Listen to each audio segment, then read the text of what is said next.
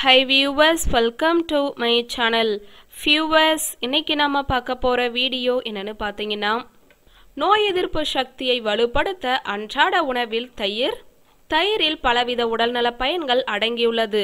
நம்முடைய தினசரி வாழ்க்கையில் தயிரை ஏதாவது ஒரு வகையில் பயன்படுத்துவது மிகவும் நல்லதாகும்.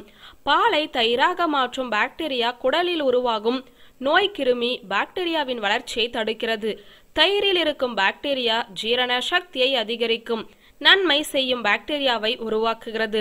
வயிறு சரியில்லாத பொழுது வெறும் தயிர் கலந்த சாதம் மட்டுமாவது உணவாக உட்கொள்வது நல்லது.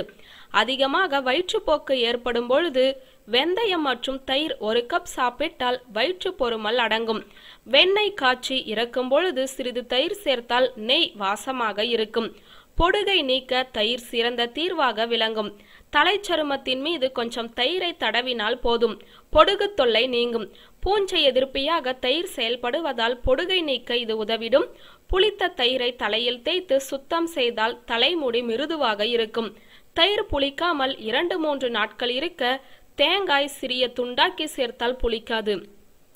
நோய் எதிர்ப்பு சக்தியை வலுப்படுத்துவதில் தயிர் மிக முக்கிய பங்கு வகிக்கிறது.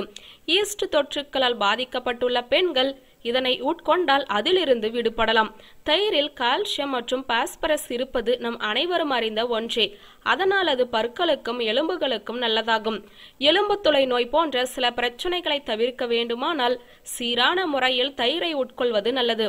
மூல நோயால் அவதிப்படுபவர்கள் தயிரை பயன்படுத்தலாம். தயிர் சாதத்துடன் இஞ்சி சேர்த்து சாப்பிட்டால் நல்ல பயனை அளிக்கும். ஃபியூவர்ஸ் இந்த வீடியோ உங்களுக்கு பிடித்திருந்த லைக் கமெண்ட் ஷேர் பண்ணுங்க. Thank you